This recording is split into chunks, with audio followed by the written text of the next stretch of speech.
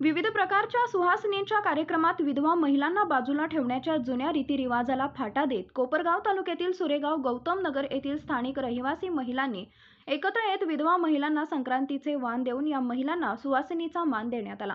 या महिलांच्या माध्यमातून झालेल्या कार्यक्रमाद्वारे जुन्या चालीरीतींना मोठमाती देण्यात आली. विधवांना हळदी कुंकवाचा सुवासिनींचा मान देण्यासाठी आयोजित करण्यात आलेल्या या कार्यक्रमात दहा ते पंधरा महिलांनी सहभागी होत सामाजिक बदलाच्या दिशेने पाऊल टाकले.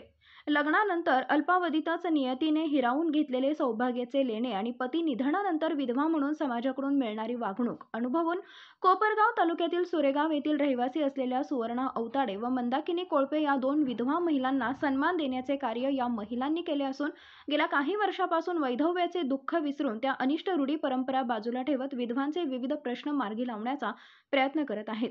विधवा म्हणून अनेक कटू प्रसंगांना सामोरे जावे लागले परंतु या प्रसंगातूनच त्यांना समाजासाठी काम करण्याची प्रेरणा मिळत आहे. सुहासिनींच्या कार्यक्रमात विधवांना प्रवेश दिला जात नाही. सामान्यपणे जगणे या महिलांना नाकारले जाते तसेच मकर संक्रांतीला सर्वत्र हळदी कुंकवाचे कार्यक्रम घेतले जातात. या कार्यक्रमात महिला सुवासिनी देखील प्रथेनुसार विधवांना टाळायच्या. ही प्रथा बंद व्हावी या उद्देशाने सुरेगाव गौतम नगर येथील महिलांनी एकत्र येत या विधवा महिलांच्या घरी जाऊन हळदी कुंकवाचा कार्यक्रम घेतला. या कार्यक्रमात अनेक महिलांनी सहभाग घेत कार्यक्रम यशस्वी केला परंतु विधवांना न्याय देण्यासाठी निर्धारपूर्वक हा कार्यक्रम घेण्यात आला आणि एका चुकीच्या परंपरेला तिलांजली देण्यात आले असल्याचं या महिलांनी सांगितले. या कार्यक्रमाचे आयोजन कांचन चौधरी प्रतिभा कोकडे मनीषा जिवरग मनीषा वारुळे रेखा तुपे सुनीता गायकवाड सविता स्वामी गायत्री सोनवणे अलका सोनवणे यांनी केले.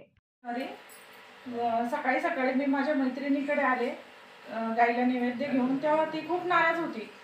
तर मला म्हणजे खूप वाईट वाटलं त्या रडल्या माझ्याकडे. तर मग आमच्याजवळ आम्ही चार पाच जणींना फोन लावले.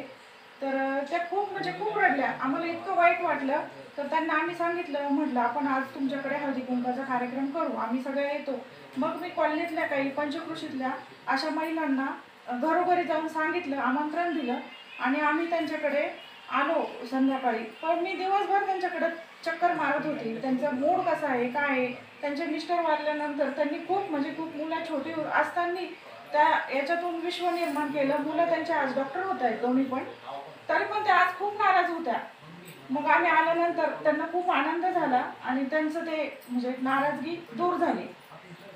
हळदी कार्यक्रम केला. विधवा महिलांना असा मान द्यायला हवा द्यायला हवा प्रत्येक गावाने हा नियम पाळायला हवा. ग्रामपंचायतमध्ये पण आता तो नियम निघालाय का विधवा महिलांनी जोडवे घालणं मंगळसूत्र घालणं पायातलं घालणं हे सगळं आता सगळ्यांना सांगतायत. घर घालायला पाहिजे करायला पाहिजे पण कुणी अंमलात आणत नाही ह्या गोष्टी. तर त्या आता सगळ्यांनी मिळून आपण एकत्र येऊन अंमलात आणायला पाहिजे. ह्या महिलांना वेगळं टाकायला नाही पाहिजे. त्या पण एक तो पण एक जीव आहे. त्या अशा दिवशी उदास असतात नाराज असतात. हे त्यांचं मन कुणीतरी ओळखायला पाहिजे. आणि मग त्यातून काही महिलांनी ज्यांना शक्य आहे काहींना घरातून सपोर्ट नसतो ज्यांना सपोर्ट असतो घरातून त्यांनी हा उपक्रम राबवायला काही हरकत नाही असं माझं असं मला वाटतं. ते त्याने मी आज महिलांना महिलांना दा घरोघरी जाऊन सांगितलं कन्व्हर्स केलं आणि इथपर्यंत त्या पण आल्या. सगळ्यांनी सहकार्य केलं. सगळ्या मैत्रिणी आमच्या चांगल्या आहेत त्या प्रत्येक वेळेस येतात सहकार्य करतात. असं काही त्या नाराज असल्यानंतर काय त्यांच्याकडे येतात. इथं कुणी आ- आमच्या भागामध्ये जर कुणी विधवा महिला असेल तर त्यांच्या घरोघरी जाऊन दरवर्षी आम्ही हळदी कुंकाचा कार्यक्रम करणार. आणि पण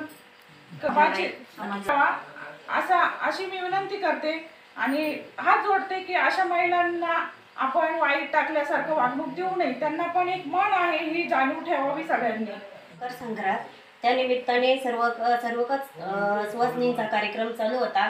आणि मी माझ्या पतीचे अकरा वर्षापूर्वी निधन झाल्यामुळे मी घरात बसून होते आणि खूप उदास होते. पण अ, आमच्या समोरच्या स- कारखान्यावरल्या ज्या काही महिला आहे माझ्या ही महिला आहे आणि कारखान्यावरील काही माझ्या मैत्रिणी आहे त्यांनी मला बघितला आणि सर्वजण माझ्या घरी आणि मला एकदम आश्चर्याचा धक्काच बसला आणि त्यांनी सुवासिन सुवासीन म्हणून जे हळदी कुंकू लावलं त्याबद्दल मी त्यांची आभारी आहे.